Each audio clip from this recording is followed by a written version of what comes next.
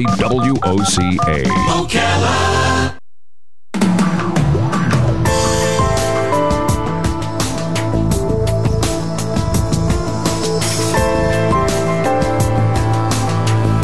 All right, five minutes after 10 o'clock. Thank you for tuning in. I'm not alone when I tell you that I've been to the cemetery a few times. I can remember going to, uh, after my grandfather died, I would take my, I was about 19 years old, I would take my grandmother to the cemetery and I would wait there with her while she uh, said a prayer and, and and was very silent and it was always so solemn and so sad. And now and now she's you know her body is is with his. And not too far away my own uh, my dad first passed and his body is not too far away in that same cemetery. My mother is right next to him or her body anyway. And my sister's body also so people pass it's part of life it's hard but it's part of life our next guest uh, has written a really positive book on remembering those who have passed, and she, my goodness, has her her stories to tell. Allison Gilbert is on the phone. She's an Emmy award-winning multi-platform journalist. Joe, I see that. listen to this. She covered 911 and was nearly killed by falling debris. Oh wow! She's the founder of something called Parentless Parents. She's a consultant to the National September 11th Memorial and Museum. Hope we can pick her brain about that a little Yes, bit. Yes, definitely. I know that's not the focus of the book, but I want to ask her. Uh, she's the author of her series of My Journey to Prevent Ovarian Cancer, her decision to surgically remove her ovaries. She's a contributor to, listen to this. Here we go, here we go. impress you, The New York Times, The Daily Beast, The Huffington Post, CNN, ABC, Fox, MSNBC, ABC, National Public Radio, and her book is called Passed and Present. Past, as in passed away, P A S S E D, Keeping Memories of Loved Ones Alive. Allison Gilbert. Good morning, Allison. Good morning. Good morning. What a great voice you have, by the way. We're- Well, I just put on my nicest voice for you guys. You just so you just sound so positive. Doesn't she sound I, positive? yeah, up, uplifting. Yeah, uplifting. yes, uplifting. yes. Where are you calling Hey, from? what are you going to do? What are you going to do? Life gives you lemons. You got to turn it into lemonade. if I listen to you long enough, I can pick out your accent. That doesn't sound oh, completely really? New. Okay. That's not New I'm York. keep that's going. that's further west, right?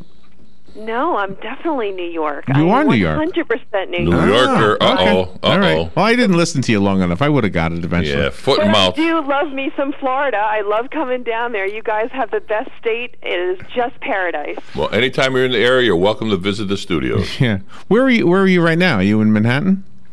I am. I'm in the middle of my book tour. I have a few days home, which is a really great opportunity to regroup with my family, and then I'm on the road again. Um, starting Monday, I go off to California, and I just came back from Chicago and Minneapolis, and so it's been a little bit of a whirlwind to get to see my kids and say hello, and then take off to uh, San Francisco and LA uh, next week. How, are your children little? How old are your children? Um, they're not so little. They're very happy to get rid of me. They're teenagers. So Oh, okay. Come home, you know, make sure they're behaving, which of course they, you know, normally are. It's all good, but you know, just gotta, you know, keep a little presence around the house Are and you- take off. And they're very happy to have mom leave again. Are you going to be home on Mother's Day? You know what? I'll be flying home on the red eye from California just to be home on Mother's Day. And a girl. Yeah. Yes, yes, yes, yes. I can't wait. That's awesome. Um, can I ask you a little? I know the book is about um, when people pass, remem- remembering them in a positive way. But I, I, mu- I wanted to ask you about September 11th a little bit. Because if you go down there right now, I mean, you, you know it better than I do. I mean, you you're in, an integral part of that, actually. I mean, you look at that. Do you know the names on? Uh, do you know a lot of names on the memorial? You know what? It's it's actually incredible. The names that I know are from the first book I ever wrote, which is about how broadcasters, radio and TV journalists covered 9/11. And for that particular book, and the reason why I'm mentioning it, uh, not only because you guys are on the radio, Thank is you. because there were there were radio engineers who maintained the antenna on top of one of those towers. And when the when when those you know when those buildings came crashing down in New York that Tuesday, um, those radio engineers died w- w- with that tower Oh, coming wow. down. And so Part of the story we never heard. Um, Yeah, and so we decided, I was one of the co editors of that book covering catastrophe, that we wanted to honor and celebrate the broadcast engineers who literally were responsible for the transmission um, of TV and radio um, that day and before, and to honor their work. And so we donated um, the proceeds um, to the Society of Professional Broadcast Engineers, SBE. I'm sure you guys are probably familiar with them. Oh, yes. And Yeah. so we wanted to honor them and their commitment because those guys are behind the scenes and really make radio work, right, and make TV work. And so um, those men, um, and they were just men. Um, I'm not excluding women, but in this particular case, they were men. Um, they're the unsung heroes. They were responsible for people getting the news that they needed in the New York City area. Wow. By the way, just as a little side note, a little uh, tidbit. One of those antennas was built here in Ocala. I did not know that. Yeah, I, I, uh, I was married at the time, and my wife at the time worked at the company that made them. And we went to the to the uh, observation deck, and, and you had to get your binoculars to see the label on the antenna. Yeah, you- in other words, I was looking the wrong way. Everybody else was focusing the binoculars out to the city, and I focused it inward to see the label on one of the antennas. What they were saying about you behind your back. You never know. yeah. I had no idea. That's so interesting. Yeah, for the for the local people, it was made out in Silver Spring Shores. There was a company called uh, Antennas for Communications. I think it's closed now. Yes, I haven't heard of it. Part of Microdyne. It was part of Microdyne. So, t- all right, let's talk about the new book. The new book is, Yeah. is called Passed and Present. Um, where did this? I like, I- I I like to call it the happy book on grief. the happy book, yeah. It's the happy book Did on you- grief. It on grief? It's, it's really On grief, yeah. On grief and loss. Yeah, I mean, really, it's a book that's 100% devoted to how to remember and celebrate someone that you've lost. We have enough books on grief, and Yeah. those are wonderful to have, and those are really um, a very different kind of book. This is when you're ready to um, start going through the belongings and what do you do with them when you want to start commemorating them and maybe integrating them into your life online listen we're all on facebook we're all on you know twitter how do you take advantage of social media to celebrate a loved one and make them a modern contemporary um, part of your life That is interesting. Uh, yeah, after after my mom died, I went to the house that she and my dad had for a long time, and there were so many photographs, and I didn't know what to do with them, and I still haven't done everything with them. But I was scanning them and scanning them and scanning them, and I made this Facebook thing. And everybody who was, you know, who, uh, not everybody who was my friend, because obviously you have friends on Facebook who aren't really friends, but people who were familiar with the people. I mean, they were loving these pictures. So uh, I, I think I understand that part of what you're saying.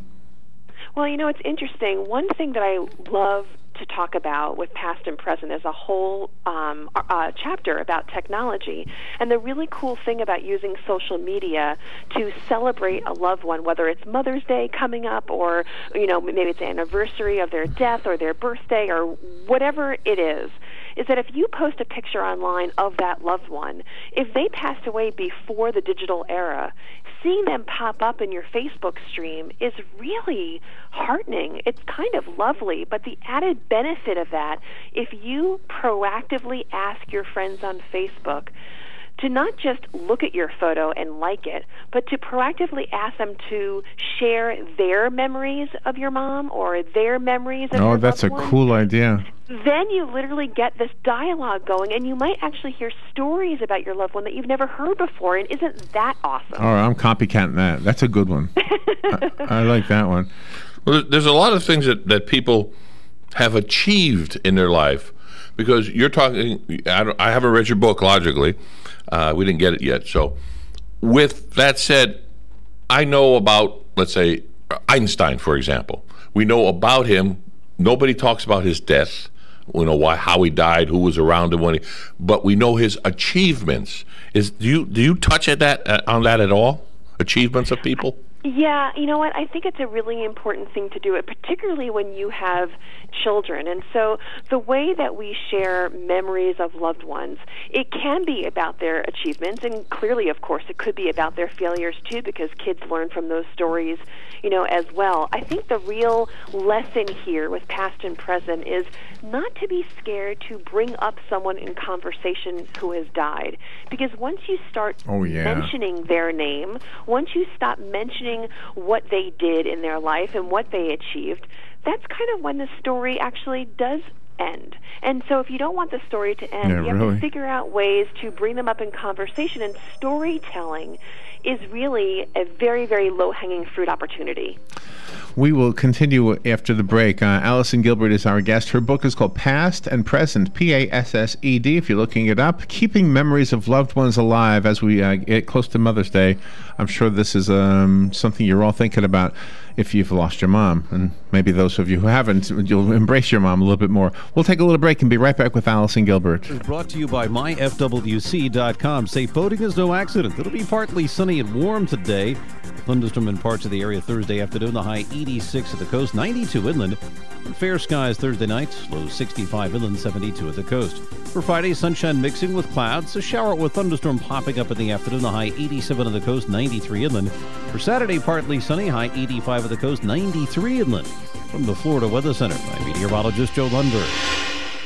Attention passengers for Flight 1370. The plane has been delayed at its departure point and will be at least two hours late. We apologize for any inconvenience. Are you serious? It took us over an hour to get here, two hours going through security and getting our tickets, and now we have to wait another two hours. Yeah, it's beautiful here, but we're inside this overcrowded airport all day because the plane is stuck in bad weather. This is the last time we ever do this. When we get back, we're going to Ocala Aviation and getting our pilot's license. Yeah, we've been talking about that long enough. It's about time we did it. Then we could just fly ourselves and never have to deal with this mess again. Right. No long lines, no full body groping security, no baggage checks. Not to mention never losing your luggage. Remind me again why we haven't done that? Well, we're idiots. Oh, right. Uh, attention all passengers for Flight 1370. It looks like the plane is going to be delayed a little bit longer. The airline has lost the pilot's luggage. Isn't it time you got your pilot's license? Call Ocala Aviation today. 352 861 7484. That's 352 861 7484. Hey, you've earned it. Call today. All right, 60 minutes after 10 o'clock. Thank you for tuning in. Allison Gilbert is on the phone. Uh, her book is called Passed and Present. Allison, we had a, uh, a local notable person who died, and I was asked to do uh, to say something. I don't know if you call it a eulogy, but I was asked to say something at his memorial service uh, for those local people. It was Bruce Mozert, the photographer, and and I was thinking to myself, Bruce was such a fun person that to say something that was just so sad, I, I just thought, you know, uh, we had a really good relationship. He was, I mean, he lived a long life. I think it was 90 something. So I knew that he would, you know, I don't know if you can see from the other side or not after you die. I don't, there's no way of knowing. But I thought if he can see me, I want him to hear something that he's going to chuckle at. So when I wrote my little thing that I said, of course, I, I said things that were his accomplishments, etc. But then I, I had a little story, and I can't remember what it was, and it wouldn't matter now anyway. But my point is, I did it purposefully so that there would be a little chuckle, and there was, and and I don't think anybody minds a little chuckle at at a at a eulogy, or or even ten years later if you're remembering somebody. Oh, I think it's so welcomed. Why not laugh and smile and reflect on somebody and then celebrate them? It doesn't have to be really the whole point of, um, at least for my book and what I wanted to accomplish, is make something that can be thought of as being sad. Of course, there's elements of sadness when you lose someone. I'm certainly not dismissing that. But to again to a point where you embrace one word. And the word that I really would love your listeners to remember, I know it sounds so crazy to say it, is the word and, A N D, and. If you hmm. can embrace your life now, and move forward, be happy, be invested in your family, be invested in your career, and look outside and enjoy the sunshine. And remember those people who you once loved and really enjoyed having a part of your life and honor what they still mean to you. If you can do both, you're on your road to true happiness because Oh, yeah. experts actually say Yeah. this is so interesting. This is fascinating. Grief experts actually say that those people who do proactive remembering of their loved ones, who actually take moments out of their day, or not every day, right? Clearly not every moment, but you take the opportunity to embrace that and word, to do things that are in celebration of your loved one, you actually end up being healthier and happier in the long run, as opposed to someone who just kind of cuts himself off. You know, you just helped me make a decision. Oh my God, that's great. Oh, let me tell you about this. We have a friend whose mother died a few years ago, and she was cremated. and he wanted to spread his mother's ashes. Now, our, our friend is uh, has Down syndrome, and he's 55 years old. He lives by himself, uh, but he's got Down syndrome. So his, he's got his mother's ashes in a heart-shaped box, and he wanted to spread them in the river. Well, it's illegal to spread them in the river, and everybody said, "Well, do it. Just do it. You know, co- covertly, whatever. You know, don't don't let anybody know." And I said, "No, he wants to videotape it." So then I said, "Oh gosh, you, you know we have this casino boat that goes out onto the Gulf of Mexico. Why don't we take the casino boat? Well, is that appropriate to take mom's ashes on a casino boat?"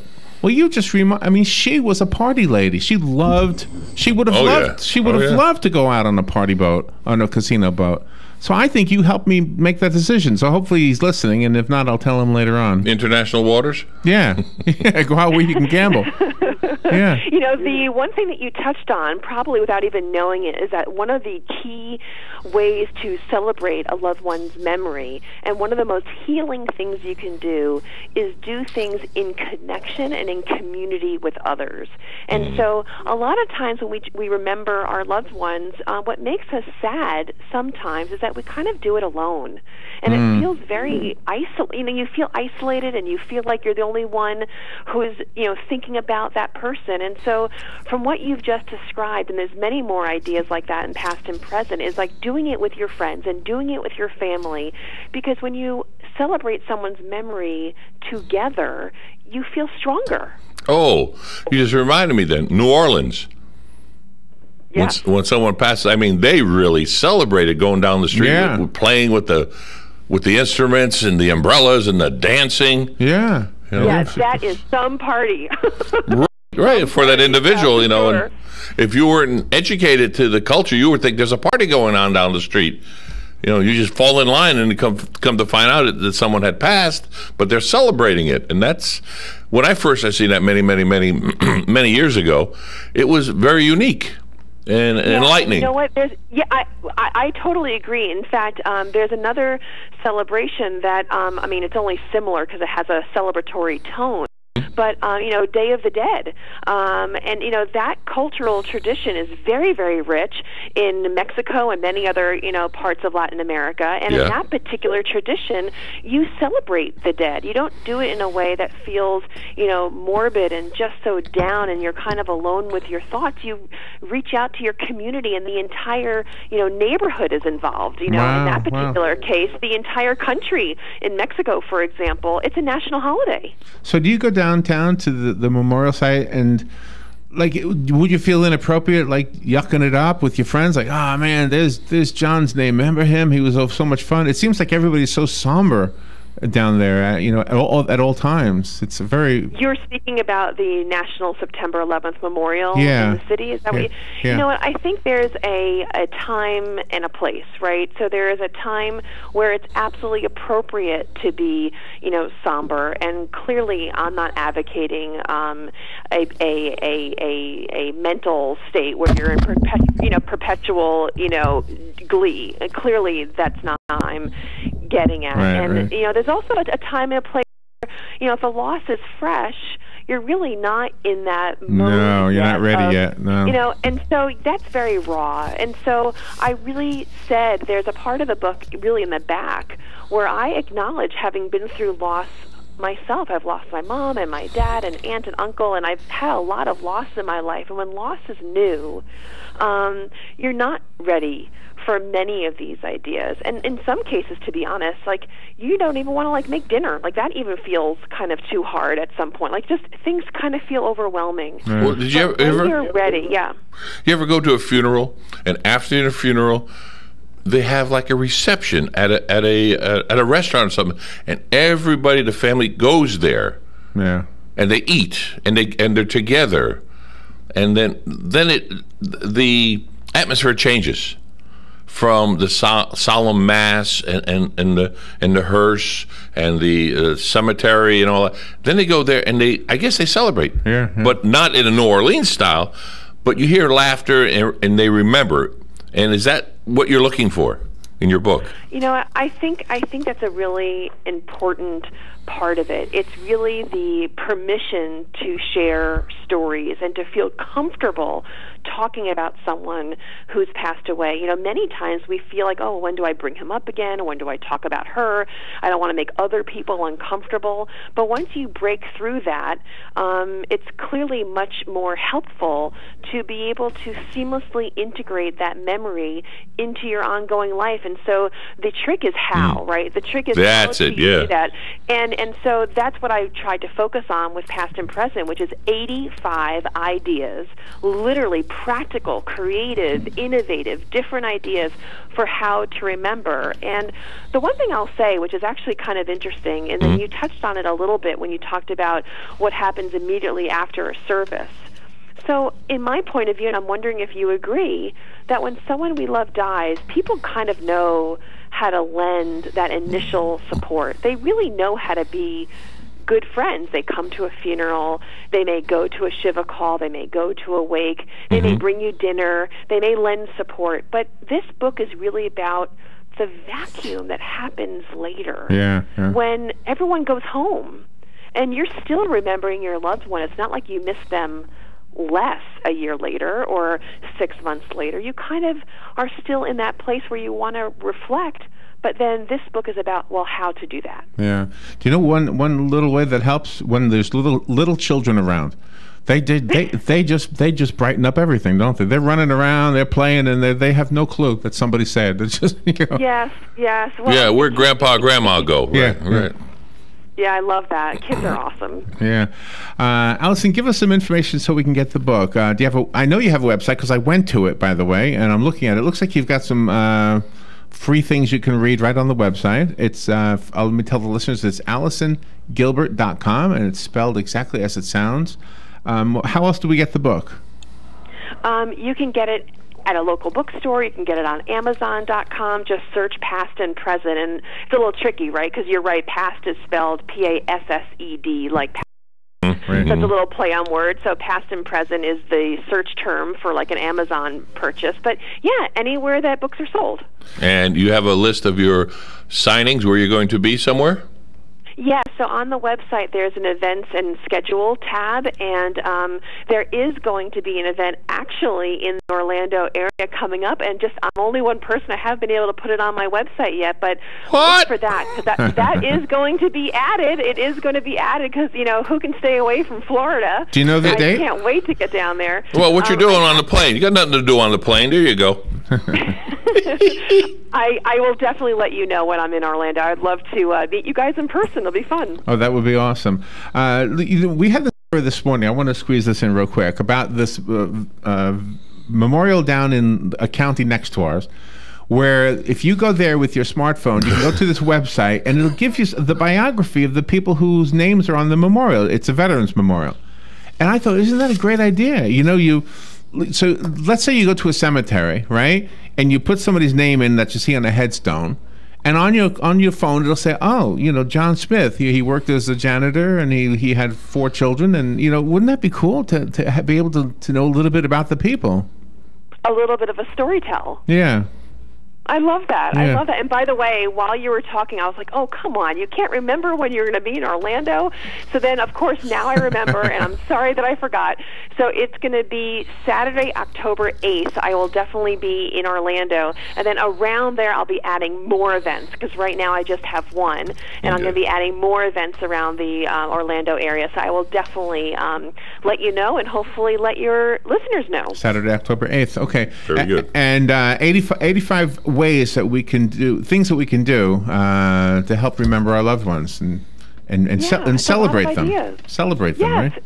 And have fun doing it and really feel stronger and more connected and just put a smile on your face and go forward with your life. Enjoy the sunshine, the Florida weather, have a great time, and celebrate those that you really miss. Do you talk to the graves? I go, I'm going to, uh, on Mother's Day, I'll probably be at my mom's grave and I'll probably be talking to her. Do you do that? Do you talk to the grave? Uh, I just talked to them.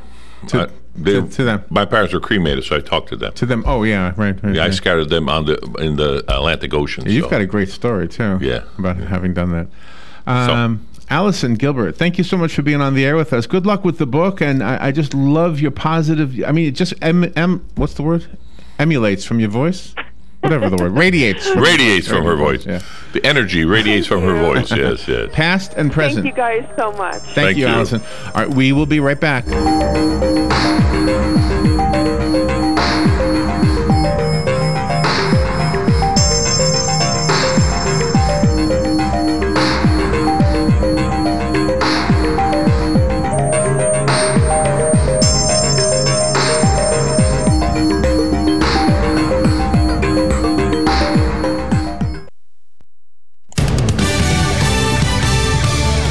News Radio, I'm Carmen Roberts. The U.S. kicks off the year with the weakest growth in two years. The gross domestic